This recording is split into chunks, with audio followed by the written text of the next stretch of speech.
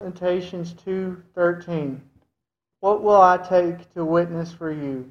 To what will I liken you, O daughters of Jerusalem? To what will I equal you? So can I comfort you, O virgin daughters of Zion? For you breach is great, like the sea, who can heal you? You know, they were turning themselves away from God into the ways of the world, which we're very sinful.